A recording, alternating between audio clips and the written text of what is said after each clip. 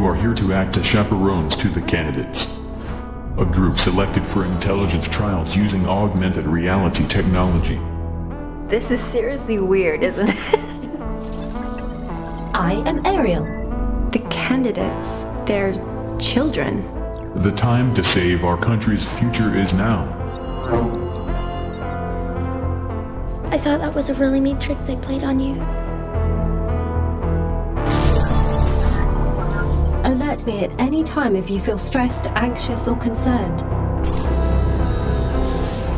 They weren't like this when we arrived.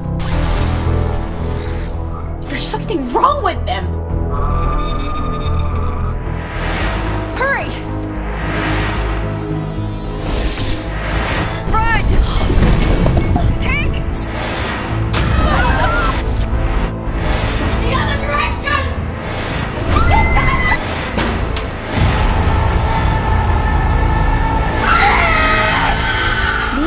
Are the minds of the future, remember?